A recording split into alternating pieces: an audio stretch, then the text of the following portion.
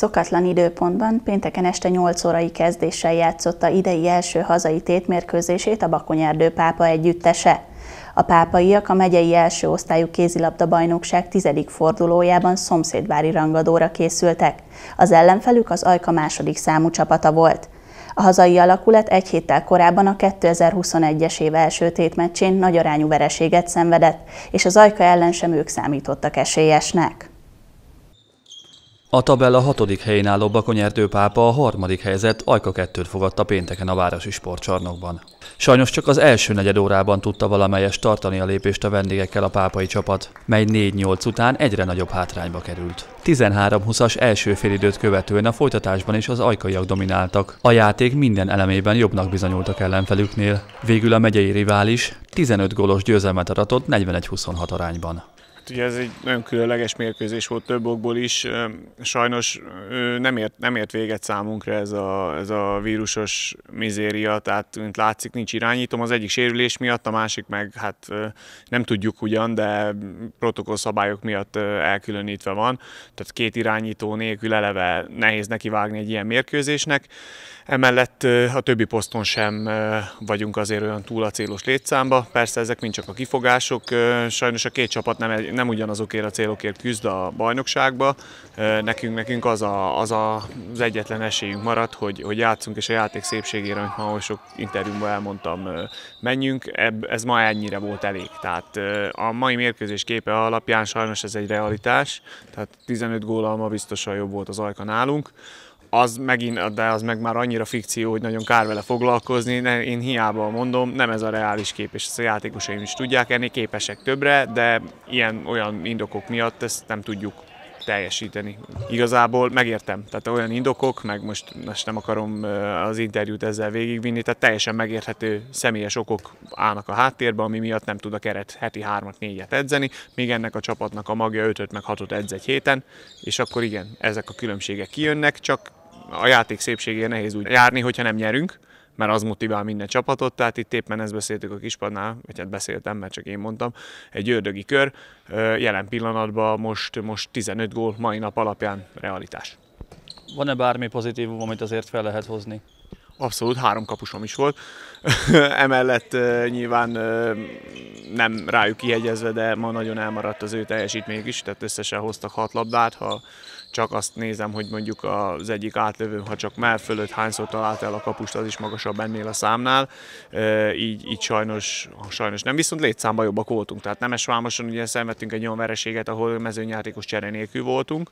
Ehhez képest most azért a belsejét már jobban forgathattam, de hát látszik, hogy azért a Ricsi, ahogy a nyilatkozatában elmondta, azért látszik, hogy nincsenek benne a mérkőzések.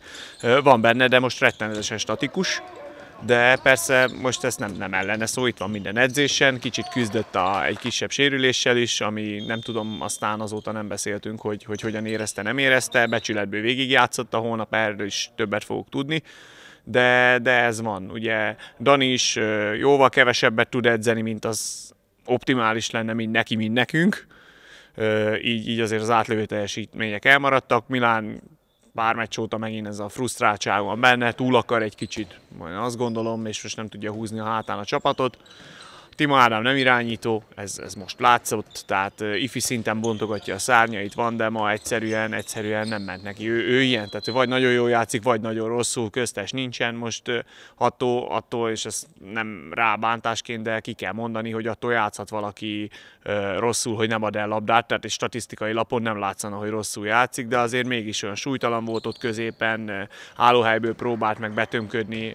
Igazából talán nem is vagyok benne biztos, hogy lőtt gólt egyáltalán holott az irányítók nyilván nem is ez a feladata, de, de ennél, ennél középső pozícióba több kell. De ez nem az ő feladata, nagyon hálás vagyok neki, hogy egyáltalán helyettesített másokat, de ennyi. Szélről két gólt sikerült szereznünk, bal szélről sem ennyit, jobb szélről sikerült jobb kézzel kettőt, tehát idáig, idáig sikerült eljutni.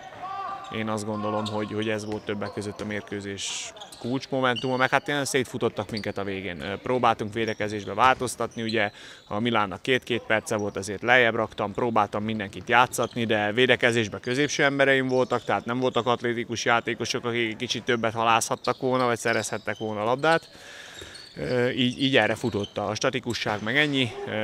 Janinál is azért látszott, hogy oxigén kevesebb volt, amit nagyon sajnálok, de, de ennyi. Tehát én megemelem a kalapom nyilván ezek előtt a srácok előtt, hogy ezt hétről hétre vállalják, viszont emögé se bújhatunk mindig. Tehát valahol, valahol változtatni kell. A pozitívum, mint kérdezted, hogy van-e pozitívum a mérkőzésben, azért van. Tehát a fiataljaink azok, azok beérnek ebbe a csapatba, azért itt kapnak játék lehetőséget, azért az, hogy kikapunk 15 góllal egy olyan ajkától, amelyiknek a, van NB1-B-s felnőtt játékosa is, meg, meg egy, egy jó felépített hosszú paddal voltak, tehát 16 játékossal, az, az én úgy gondolom, hogy nem szabadna, hogy elkeserítsen minket, mert bizony nagyon ketté szakad most a megyei bajnokság is.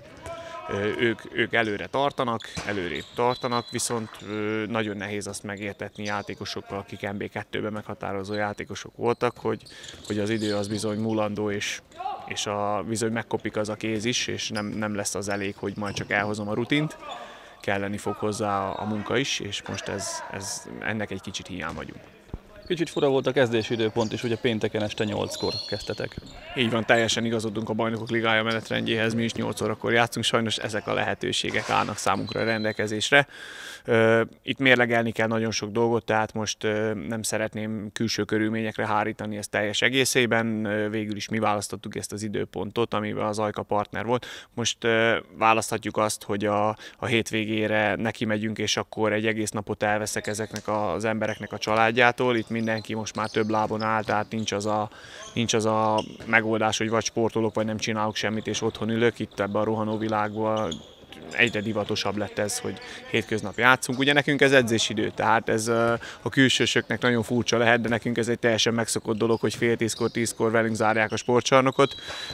Bizony az amatőr sportnak ára van. Tehát azt kell megérteni, és ha csekély edzői tapasztalatommal és pofátlan fiatalságommal megegyezhetek egy annyit, hogy én úgy gondolom, és az az én filozófiám, hogy azt különbözteti meg az amatőr sportot a profitól, hogy a, az amatőr sportoló az, az a szívével játszik, mert szeret kézilabdázni, a profi meg tud, és ezt mindenki értse meg kezelje a helyén. Én is világéletemben amatőr kézilabdázó voltam, viszont ha a szív nincs itt, akkor nincs miből dolgozni és, és ez az, ami előre vihet minket, és ez bizony minket pénteken fél tízkor is képes előre vinni.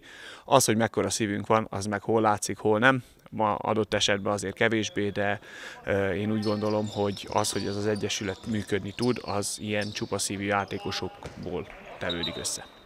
Mennyivel fényesebb a jövő, hogyan folytatódik számotokra a bajnokság? Még két ö, alsóházi rangadónak is beillő mérkőzésünk van hátra, aztán utána ugyanezen csapatokkal élhetőleg következik a rájátszás, tehát az első négy csapat felsőházi rájátszásba kerül, mi pedig az alsóházba, és oda-vissza alapon. Szeretnénk alsóházat nyerni legalább, hogy egy kellemes szájízzel befejezzük ezt az ismételten nagyon furcsa szezont. Aztán nyilván van miről beszélgetni, van, van mit elemezni és a folytatást kiértékelni, viszont késztervekkel állunk, aztán itt minden a játékosokon múlik. Tehát az, hogy egy vezetőség felvázol egy koncepciót, ez egy nagyon szép dolog csak itt az a kérdés, hogy van-e mellette akarat, tehát mi a játékosokért vagyunk, és hogyha ők erre igényt tartanak, akkor, akkor van a pápai kézilabdának létjogosultsága, ha pedig nem, akkor ezt is értékelni kell.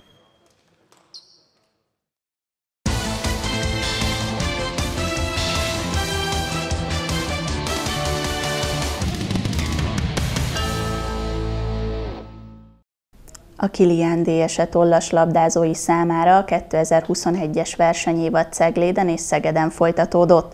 Az Egyesület felnőtt és utánpótláskorú versenyzői egyéniben, párosban és vegyes párosban is leadták nevezésüket. A sportolók jó teljesítményt nyújtottak. A két bajnokságon összesen hat alkalommal szólították őket a dobogó valamely fokára. A Kilian DS színeiben január végén Nagy Dániel ismét a felnőtt mezőnyben mérette meg magát. Cegléden az első és másodosztályú versenyen egyéniben és párosban is indult. A férfi egyesben kettő mérkőzést játszott, ami nagyon szoros mérkőzés volt, ugyanazzal az ellenféllel. A sorsolás szeszélye folytán kétszer játszott az első osztályban is egyszer, meg a másodosztályban is egyszer ugyanazzal az ellenféllel Mindegyik mérkőzés három játszmás volt, és sajnos mindegyiket a Dani veszítette el, de az elmondások szerint egy óra hosszúság volt egyik-egyik mérkőzés. A végén már, ahol tudtak, ott vettek levegőt a játékosok, de ez a tapasztalatszerzés és a további fejlődés szempontjában nagyon fontos mérföldkő, én úgy gondolom. A fiú páros, férfi párosban az OSC is Kollár Tamással játszott a Dania versenyen. A másodosztályú férfi párosban indultak, és az elődöntőben szenvedtek vereséget, úgyhogy ott bronzérmet szereztek a másodosztályú férfi mezőnyben. Én úgy gondolom, hogy ez nagyon szép teljesítmény. És a fiúk ezen felbuzdulva múlt hétvégén Szegeden egy 19 éves ranglista versenyen is elindultak a fiú párosban. Nagyon szépen meneteltek, és ott a dobogó második fokára tudtak fölállni jó mérkőzéseket játszottak, ugyanúgy, mint ahogyan egyéniben is jó mérkőzéseket játszottak. Az elődöntőben a két fiú egymás ellen küzdött, a Tamás nyert ismételten, nem sikerült a Daninak megfogni a Tamást, így a Dani harmadik lett, a Tamás pedig döntőt játszott. Én úgy gondolom, hogy ha ez a városítás működhet, akkor tudnak elég eredményesek lenni. A 15 évesek számára rendezett A-kategóriás versenyen Szegeden két pápai tollas labdázó, Szabó Zsófi és Geiger Mira indult. Mindegyik gyerkőc indult a vegyes párosban, ez volt az első versenyszám. A Geiger Mira a Boros Vincével, budapesti fiúval most már néhány versenyen próbálkoznak együtt a vegyes párosban, a Szabó Zsófi meg a Mesterházi Milán a szokásos partnerével játszott. A Mirájék az elődöntőben szenvedtek vereséget a későbbi második helyezettől, akik a Szabó Zsófiéktól kaptak ki a döntőben. Tehát a Zsófi és a Milán 15 évesek között most a szezon első versenyét megnyerte, a Mira pedig a harmadik helyen végzett a Vincével. Majd a lányok egyessel folytatták a küzdelmeket, a csoportban Zsófi teljesen simán nyerte a csoportját, Mira viszont kikapott a szegedi ellenfelétől, a Bozsogi Mira megverte, én szerintem jobb is a Mira felkészültségében is, meg sokkal jobban játszott. A csoportból így a Mira nem tudott tovább jutni a főtáblára, Zsófi viszont följutott, és az elődöntőben a Pécsi Dorozsmai Hédivel játszott. Nagyon jó mérkőzést játszottak, az első szettet a Zsófi meg tudta nyerni, majd valamiért elveszítette a Zsófi a mérkőzés fonalát, és szaladt mindig az eredmény után. Míg a harmadik játszma végénél, az utolsó előtti labdamenetnél egy ejtésre hosszan kilépett, megcsúszott a lába, és meghúzta a combját. Hát kettő pont volt vissza abból a mérkőzésből, az már kell mondjuk talán egy vesztett mérkőzés is volt, de hogy a későbbieket ne kelljen biztosan feladni, ezért mondtuk Zsófinak, hogy azt a két pontot maradjon még a pályán, és megnézzük utána, hogy mit tudunk tenni. Hát sajnos nem tudtuk vállalni a játékot, így egy nagyon győzelem reményes leány párosból vissza kellett lépni, ahol a az elődöntőben Zsófit legyőző Dorozsmai Hédi volt a párja. Egy meccset már játszottak a páros küzdelmekben is, de nem tudtuk folytatni a, a mérkőzést, még három mérkőzésük lett volna. Nem kockáztattuk azt, hogy a, a akkori húzódás esetleg egy komolyabb sérülésé fajuljon. Sajnáltuk, de hát ez van, nem tudtunk mit csinálni. A lánypárosok között is indult a Geiger Mira, egy szegedi kislánya Pápai Lucával játszott. A Lucával nagyon jól összeszedték magukat. A nekik adódó mérkőzések közül csak egyet veszítettek el a végső győztestől, így ők ezüstérmet szereztek ebben a versenyszámban, és hát nagyon jó szerepeltek így, hiszen egy ezüst és egy bronzérmet hozott, amire a Zsófi hozott egy aranyérmet a vegyes párosban, hozott egy bronzérmet a leány egyesben, és hát sajnos kecsegtető helyről, de vissza kellett lépnünk a lány párosban, de előre tekintve én úgy gondolom, hogy eredményes lehet ez az összeállítás. Szabó Zsófi számára jól indult az év, ám sérülés miatt egy hetet ki kellett hagynia. Pécsen voltam először, ahol U17-ben Nagy Eszterrel harmadikak lettünk párosba. Um, ott vegyesbe egyből kiestünk Mesterházi Milánnal, és um, akkor épültem fel még a, az egyik sérülésemből, és emiatt, hogy nem tudtam indulni egyénibe. Majd aztán mentünk Szegedre, ahol vegyes párosban Mesterházi Milánnal elsők lettünk, majd egyénibe is elindultunk, és hát elindultam, de nem, nem tudtam folytatni, ugyanis lesérültem, és ezért a sima női páros nem tudtam folytatni, mert ugye lesérülés miatt, és ott Dorosmai Hédi volt a párom. Milyen sérülés történt, és hogy vagy most? A combomnál húzódás volt, már egyre jobban vagyok, most elméletileg egy hetet kell kihagynom, és mehet tovább. És mik a későbbi terveid? U15 válogatottba megyünk Pestre. A folytatásban a 15 évesek válogatott edzőtáborát rendezik Budapesten. A Zsófi, mint válogatott kerettag részt vesz ezen a, az edzőtáboron, Remélem, hogy sokat tudunk majd tanulni, hiszen a páros játék lesz a fő csapás iránya ennek az edzőtábornak. De előtte még ezen a hétvégén a Nagy Dani belekostol az igazi nagy kondérba, elindul a felnőtt magyar bajnokságon, kedvet kaptak a Tamással a jó szereplésekkel, és azt mondták, megpróbálkoznak férfi párosban, meg férfi egyesben is elindulni a felnőtt mezőnyben.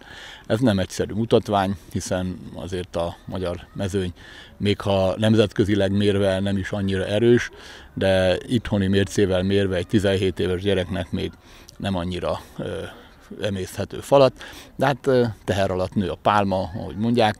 Ezen a hétvégén most ezzel próbálkozunk. Majd megnézzük, mert a következő időszakban vannak felnőtt másod-harmadosztályú versenyek, illetve hónap végén majd 13-17 éves alkategóriás ranglista verseny, amire igyekszünk készülni. Milyennek jellemezni a Mihályházán folyó edzéseket, mennyien vagytok, milyenek ott a körülmények? Teljesen jók a körülmények arra a hat főre, akivel ki tudunk menni edzeni. Az a hat igazolt gyerek vesz részt ezeken az edzéseken, akikkel rendszeresen járunk a versenyekre. Én nagyon sajnálom, hogy több gyereket nem tudunk mozgatni, ennek több oka is van. Az egyik az, hogy a szigorító intézkedések hatására csak azok a versenyzők vehetnek részt edzéseken, akik igazolt versenyzők, mivel az elmúlt egy évben nem adódott olyan lehetőség arra, hogy a gyerekek közül bárkit is edzésen lássunk az említett haton kívül, ezért nem tudunk senkit leigazolni.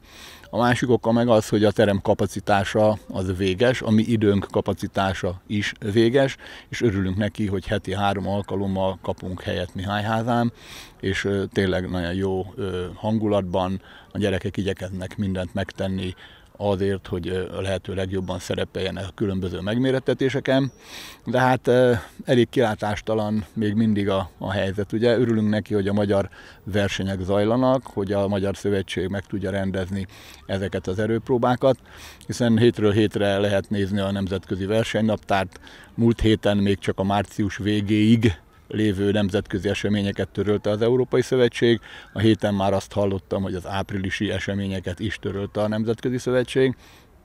Ez nem jó dolog, mert ha minden igaz, akkor szeptember elején 17 éves Európa-bajnokság van, és hát ott is van szanszunk, hogy legyen indulónk.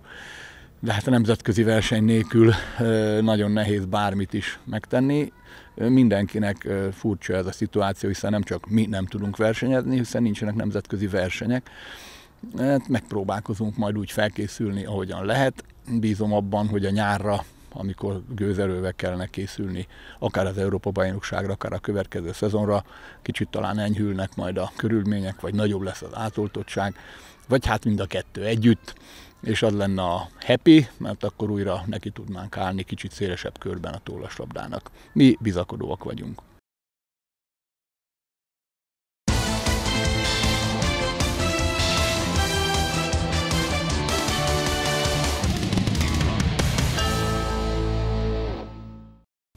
A megyei első osztályú női kézilabda bajnokságban idei első hazai mérkőzését játszotta a Kilián DS együttese. Kont Sándor tanítványai a tapolcát fogadták a sportcsarnokban. Az idén kezdett nem sikerült jól a pápai lányoknak. Az úrkuttól elszenvedett vereség után így hazai környezetben a két pont otthon tartása volt a cél. Ez végül nagy csatában sikerült is. Hetedik bajnokiukon harmadik győzelmükre készültek a pápai lányok, akik két nappal korábban négy góllal kikaptak az urkuttól. A Tapolca ellen szorosan alakult az első félidő, egyik csapat sem tudott nagyobb előnyt kialakítani. 18-16-os első játékrész után a folytatásban sem változott a játékképe, pár végig vezetett a Kilián, ám a Tapolca ott loholt a nyomában. A 13 gólig jutó Pödör Patricia és a 10 találatot jegyző Mózes Fanni vezérletével a Kilián végül 36-33-as győzelmet aratott. Volt sok ö, kapkodás, de hála Isten sikerült lánynak kijavítaniuk. Hála Isten megint csapatként működtünk, türelmesen játszottunk, és helyenként jól is védekeztünk. Ez egy jó csapat, ez a Tapolca, nehéz volt őket legyűrni? Az az igazság, hogy itt a, a megyébe itt nem tudod megmondani, hogy ki a jó csapat, ki a rossz csapat. Itt e, tényleg az van, hogy bárki nyerhet bárki ellen. Általában jelenállás szerint e, a hazai meccseit mindenki hozta, a vidéki meccsein meg általában mindenki bukik. Tehát itt, ha valaki vidékről pontot hoz, az a meglepetés. És elég hosszú volt a kispad, ráadásul ugye Pödör Patricia is visszatért. Hát igen, hála Isten hosszú volt a kispad. Patri ugye az online tanítás miatt Pápán tartózkodik, így hála Isten tudunk rá számítani, de nem csak belőle áll a csapat a többiekből is. Tavaly azt hittük, hogy majd a Rábai Alexandra lesz az új Pödör Patri, de sajnos sérülések miatt átalakult az egész csapat. Múlt héten már játszottatok, igaz idegenben, sajnos nem sikerült nyerni Urkuton. Milyen volt az a meccs? Az Urkuti meccs is hasonlóan alakult, mint ez a mai. 50 percig fejfej mellett, hol mi vezettünk egy góllal, hol az ellenfél vezetett egy góllal. Az igazságot rövid volt a kispad. Sajnos elfogadtságok miatt többen nem tudtak eljönni, és 50 percig döntetlen volt, elfáradtunk, és sajnos alig nem négy góllal kikaptunk. De ez az utolsó 5-6-8 percben ment el.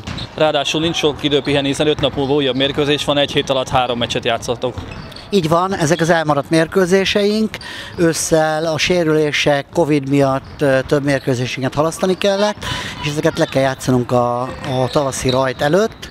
A tavaszi rajt az alig nem 14-én kezdődik, tehát sok időnk nem volt arra, hogy mikor játsszuk le őket, ezért most egy hét alatt három meccset lejátszunk, Ugye játszottunk vasárnap Urkuttal, kedden Tapolca, vasárnap szintén Urkut jön ide hozzánk, és ismét megközdünk velük. Hogy bírják a lányok ezt a terhelést? Szeretik, legalábbis szerintem, ők is azt mondják, végre játszhatnak. Végigment ugye az őszünk, hogy jelen pillanatban is csak heti egy alkalommal tudunk edzeni, ez a keddesti alkalmunk az egy. Ha ilyenkor mérkőzésünk van, akkor nincs edzés. Ha és e, ugye a lányoknak ez most nagyon jó jön az, hogy játszunk, játszunk, játszunk, végre nem magunk között játszunk, nem a serdülő ellen játszunk, hanem csapatok ellen játszunk, és ez most tetszik nekik, hogy főleg ha még nyerünk is, hogy végre mérkőzésünk van és játszhatunk. Tehát akkor itt a Covid, illetve a téli időszak alatt heti egyszer tudtatok találkozni? Így van, végigedzettük a Hát most mondtam azt, hogy augusztus óta szinte minden héten egy edzést tartottunk. Talán csak az a karácsonyi csarnokleállásos időszak volt az, amikor nem tudtunk edzést tartani, az összes időben heti egyszer, igaz, hogy a felnőtt és a serdülő együtt. Most is itt voltak a serdülős lányaink, azoknak is kezdődik a bajnokság. Hétvégén már Márai falura mennek játszani, az jövő héten csütörtökön már Moson-Magyaróvár, hétvégén meg itt játszanak, talán épp szalakkal. Tehát nekik is beindul a szezon, nekik is beindul ez a heti egy-kettő, hol három mérkőzés, de sajnos edzés lehetőségeink azok igencsak szűkösek. És ilyenkor az edzéseken inkább a játékra helyezed a fő hangsúlyt, nem inkább a taktikára? Hiába készül az ember akármilyen taktikára, akármilyen edzés munkára. Ugye itt a helyszínen erül ki, hogy azon az edzésen 10 vagyunk, 18-an vagyunk, vagy hányan. Legutóbbi edzésen, amikor itt voltunk, 19-en voltunk, hála Isten.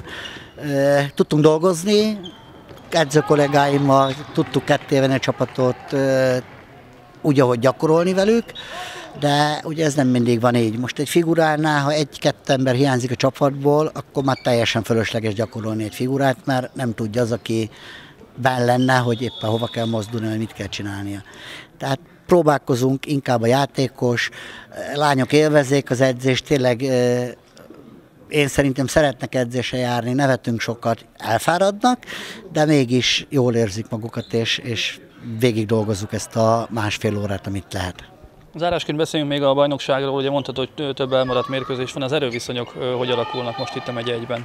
Az az igazság, hogy ahogy mondtam, nem lehet tudni, hogy éppen ki kit ver meg. Nem lehet tudni azt, hogy adott mérkőzésen ki az, aki ráér, ki az, aki tud játszani, ki az, aki egy csapatból húzó ember tud lenni, és tényleg úgy van, hogy én itt a meccset is azt mondtam, hogy itt tényleg 50% esély hogy mi nyerünk, vagy ők nyernek. Mert ezt nem lehet megmondani. Ugyanígy az összes többi csapat ellen is, az Urkut ellen is nem lehet megmondani, hogy vasárnap mi nyerünk, vagy ők nyernek. Nem lehet megmondani egy alsőrs ellen, aki már tavaly is az MB2-re készült, összeszedte játékosokat, sokan vannak, 20 fölül, és tényleg úgy vagy egy-egy mérkőzésre keretve, hogy éppen most kijátszik, és ki a kimaradó van egy-két fizetett játékosuk is, ami nekünk ugye nincsen, és mégse lehet megmondani azt, hogy az alsős kikapott Urkuton, az Urkutat megvert a Tapolca, mi megvertük a Tapolcát. Most ezt nézzük, a négy csapat körverte egymást. Bármi lehet hétvé, vagy a szezon végére. Senki nem tudja megmondani, hogy ki lesz az első és ki lesz a negyedik. Háromszor játszunk minden csapattal, tavasszal is, és háromszor játszunk ősszel is. Tényleg úgy lesz már, hogy a szezon végére már azt is tudni fogják, hogy ki mikor kacsint. Tehát abszolút kiszámíthatatlan ez a bajnokság. A vasárnap délutáni mérkőzésen a vendégúrkutiak 7 gólos győzelmet arattak 30-23 arányban. Folytatás február 14-én az Alsóörs ellen.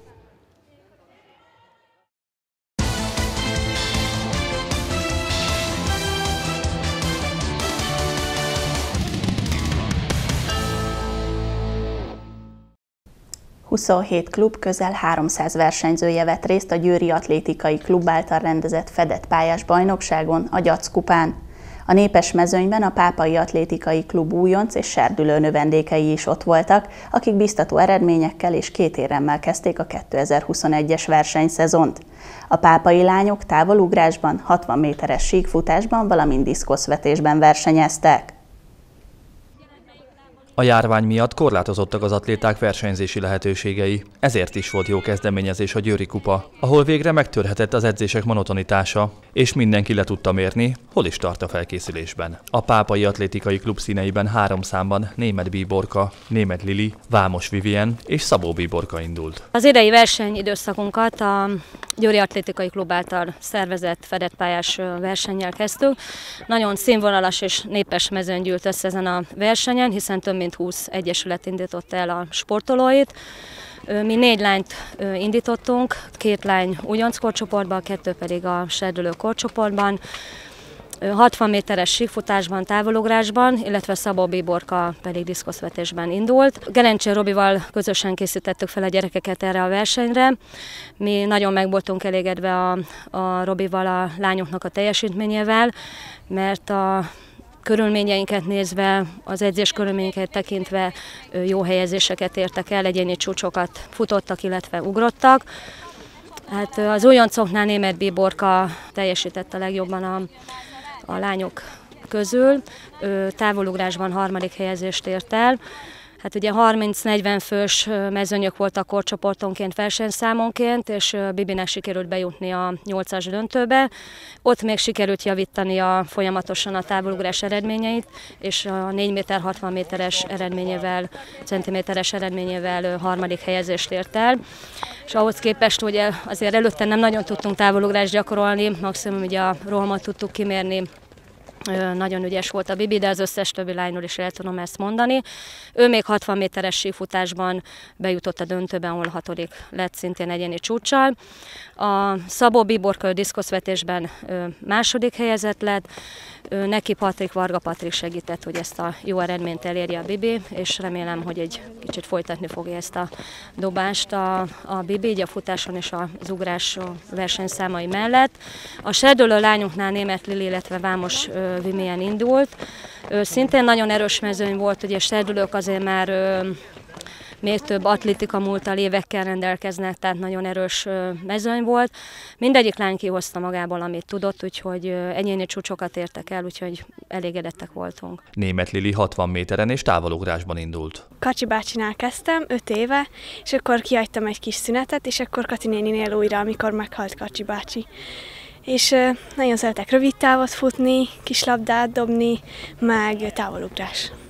És ö, volt idén már egy verseny, Győrben jártatok, milyen versenyszámokban indultál, és hogy sikerült? Fedett pályás verseny volt, távolugrásban is 60 méterben indultam. Nagyon erős volt a mezőny, és uh, amúgy nagyon szép pálya volt, jó volt versenyezni. Szabó Biborka a győri versenyen egy ezüstéremmel gazdagodott. Két éve atlétikázom, engem még az iskolából csalt le úgymond Katinéni, és hát 60 méterben indultam diszkoszba és rövid távfutásba.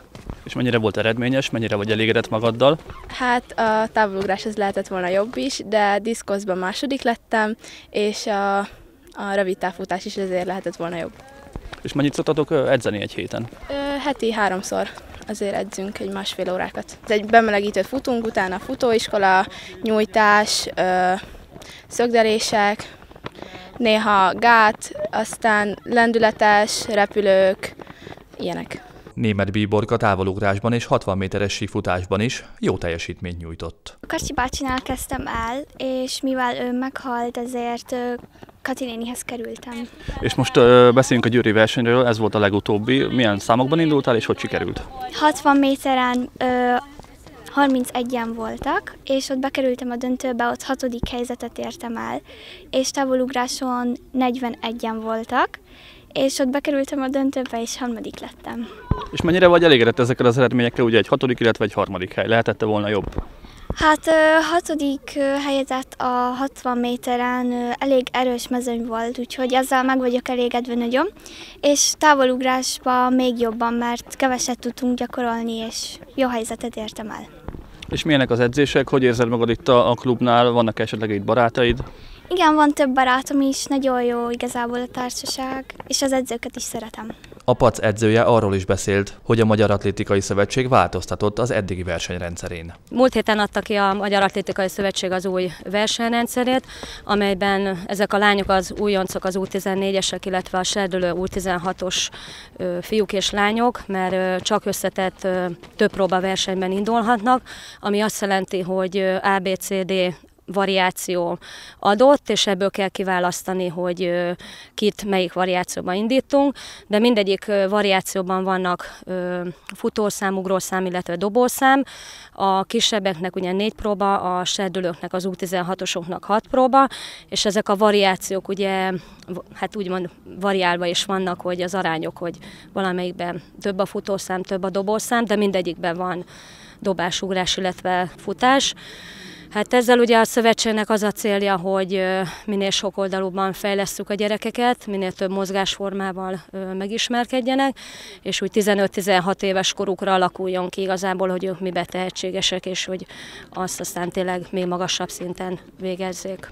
Moroc Katalin elmondta, elégedett a futószakák létszámával, és már nagyon várják az új atlétikai centrum átadását. Nagyon meg vagyok elégedve, annak ellenére, hogy itt a, a vírus helyzetben azért mi is egy kicsit megijedtünk, főleg így ősszel, ősszel. Hát most az utóbbi pár hétben kezdtem el visszahívni a piciket, tehát a Sport 21-es versenyrendszerbe, akik tartoznak, és hát nagyon örültem neki, hogy szinte kivétel nélkül mindenki visszajött. Már hála Isten annyian vagyunk, hogy, hogy tényleg szükség van arra, hogy több edző legyen, nem csak a kor szerint, hanem a versenyre való felkészülés szerint is. Úgyhogy remélem, hogy ez a későbbiekben is, illetve az új pályára, hogyha tudunk menni, akkor még jobban tudjuk bővíteni, mert szükségem van arra, illetve biztos vagyok benne, hogyha kész lesz az új pálya, hogy még több gyerek fog lejönni. Már nem sok idő van az atlétikai centrum átadásáig. Most a körülményeitek milyenek? Mennyit tudtok edzeni? Hol tudtok edzeni? Hát a körülményeink Hát, hogy picit úgy azt mondom, hogy vegyesek, mert egy hosszú távfutóval nekünk nem probléma kimenni, tehát hogyha esik, ha fúj, kimegyünk, meg a nagyok ők már tényleg hozzá vannak szokva, mindig kim vagyunk velük. A picikkel vagyok egy kicsit gondba, ugye most nem tudunk bemenni az iskolába, nem tudok velük tornateremben edzeni, és ezért a, hát a sportcsanokban vagyunk. Azért én itt szeretném megköszönni a sportcsanokban levő labdás edzőknek, hogy, hogy azért úgymond megtörnek bennünket ott magunk mellett, tehát azért úgy segítenek, és tudunk mellettük edzeni, mert nekünk azért ez nagyon nagy segítség, hogy nem fönt a, a lelátón kell mindig, hanem egy picit le is mehetünk, és ott egy kicsit el tudunk dolgozgatni, nekünk ez nagy segítség, úgyhogy én köszönöm szépen tényleg a kosárlabda, illetve a kézilabda szakánknak, az edzőnek, hogy megértük a mi ö, helyzetünket. És hát ahogy jön a jobb idő meg, illetve ma is jó idő van, így egyből hozzuk ki a, a kicsiket, és itt kint tényleg még jobban meg tudjuk őket mozgatni. Túl vagyunk a győri versenyen, mire készültök, most mi lesz a legközelebbi próbatétel? Hát márciusban lesz több versenyünk, lesz egy mezei futóverseny Szombathelyen, ott elsősorban a, az ifiket szeretném indítani. Utána lesz, utána hétvégén lesz az újoncoknak, serdülőknek az országos bajnokság Budapesten, ez még fedett pályás verseny lesz és márciusban lesz, még tervezünk egy terematlétika versenyt, amit tavaly első alkalommal sikerült itt jól megszerveznünk a pápai sportcsarnokban.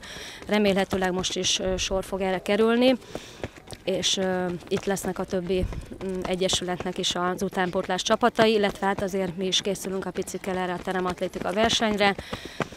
Számítunk megint, mint tavaly is a testnevelőknek a segítségére, illetve örömmel veszem, hogy nagyon sok ö, amatőr futó és szívesen ö, beállna és segítene nekünk itt a versenybíráskodásban.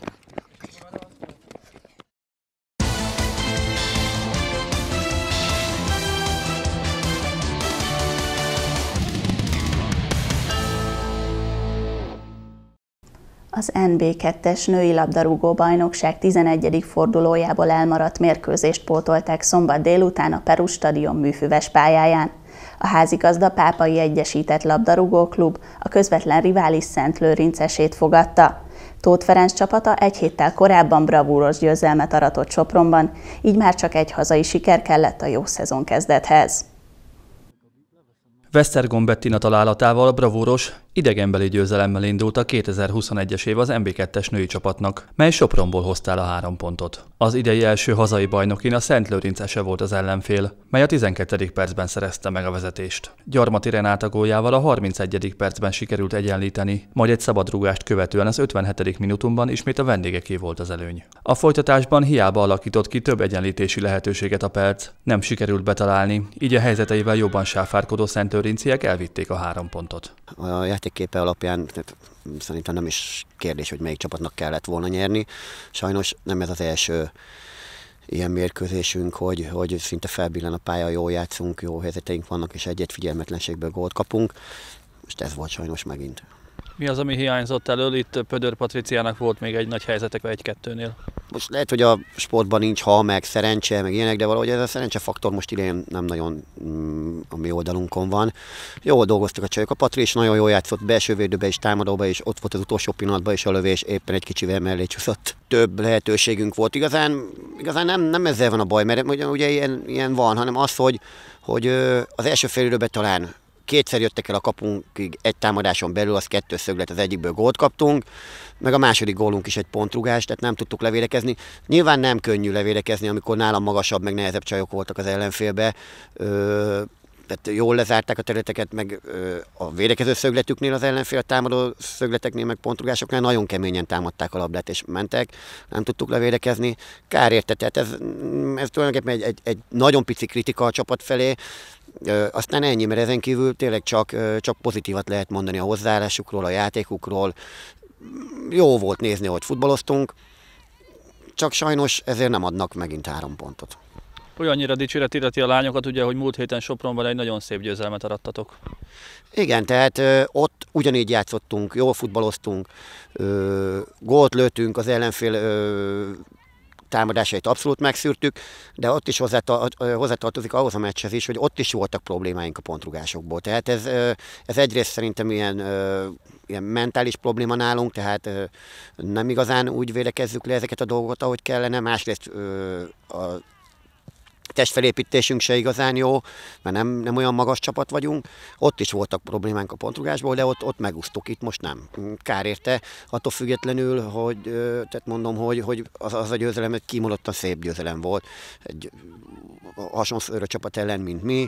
Jó meccset játszottunk, jól mentünk, nagyon kellett a három pont, Ö, kellett a három pont is, meg ö, különböző okok miatt, ezt ugye, az öltözön belül tudjuk, tehát nagyon fontos volt nekünk ez a Soproni meccs, és hála az égnek sikerült most meccs előtt azt beszéltük a csajokkal, hogy és azt mondtam nekik, hogy igazán akkor értékes az a Soproni meccs, hogyha ez is megvan, úgy is álltak hozzá. Tehát, tehát egy rossz szavam nem lehet, nem sikerült, nagyon kár érte.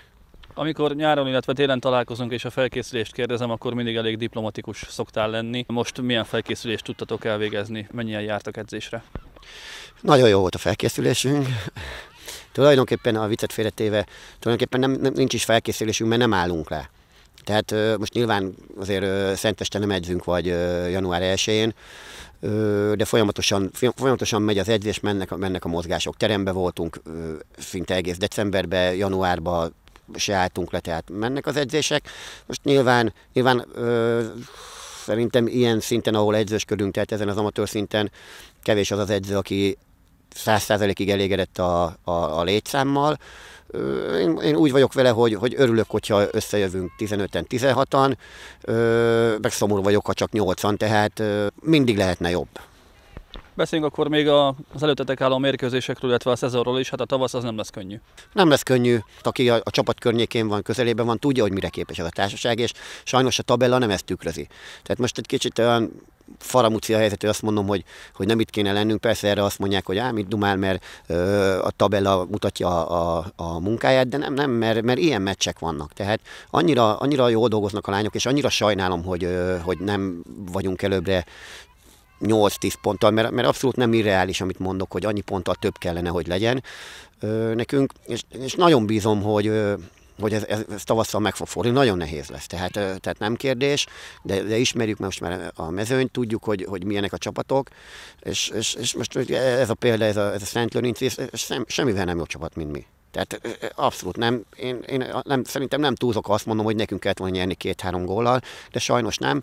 Én bízom benne, hogy megfordul, és, és, és, és talán valami oknál fogva kikerülünk ebből a, a nem tudunk nyerni szériából. Mekkora a létszám, mennyien vagytok, elférne még egy-két játékos? Létszám gondunk nincs, tehát darabra vagyunk. Igazán itt a probléma az, hogy az MB2-es keretben vagyunk egy kicsit kevesen, tehát a kimondottan felnőtt korú játékosok kevés viszonylag, ugye, és nagyon sok játékosnak kell feljátszani az U19-ből. Igazán, igazán akik feljátszanak, azok, ők se azért játszanak fel, mert nem vagyunk, hanem azért, mert, mert annyira jók, hogy, hogy az MB2-et látszott most is a, szerintem a, a csapat 50%-a U19-es volt, tehát, tehát nem azért vannak itt, mert, mert nem tudnánk kiállni, ha nem lennénk meg, hanem mert jó játékosok, de, de azért én örülnék, hogyha még lenne egy, egy négy-öt kimondottan felnőtt játékos, hogy, hogy, hogy, hogy azért kicsit könnyebb legyen a, a csapat forgatása, meg ugye el fog kezdődni lassan az U19-es bajnokság is, aztán előbb nem, nem szeretném, hogyha baj lenne tanulmányi okok miatt, ö, sérülések miatt, hogy, hogy, hogy, hogy létszámgondok legyenek.